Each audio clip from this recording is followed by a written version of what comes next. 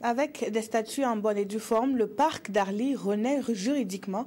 Le ministère de l'Environnement et du Développement durable a procédé à la validation d'un avant-projet de texte portant statut et création du parc d'Arly et des réserves protégées au Burkina Faso. Un vide juridique en passe d'être comblé. Claudine Bikaba. Le parc d'Arlé, situé dans la Tapua, Madjouari, une réserve protégée dans la province de la Compianga, sont créés et gérés depuis 1978, mais jusque-là, il n'existe pas de texte réglementaire sur la gestion de ces parcs et des réserves protégées au Burkina Faso.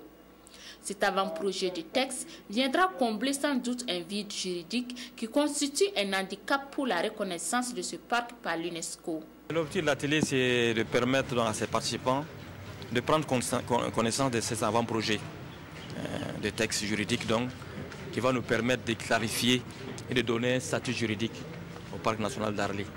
Parce que comme vous le savez, c'est un parc national d'importance nationale, régionale et mondiale, puisqu'à terme, il doit être inscrit au niveau du patrimoine mondial de l'UNESCO.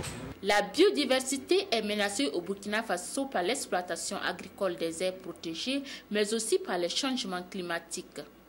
Pour résoudre cette problématique, le ministère de l'Environnement et du Développement durable a effectué des sessions de formation dans les régions pour impliquer davantage les populations locales dans la préservation de la faune. On ne peut pas donc amener ces avant-projets de textes en Assemblée nationale sans ouvrir à notre sein un large débat.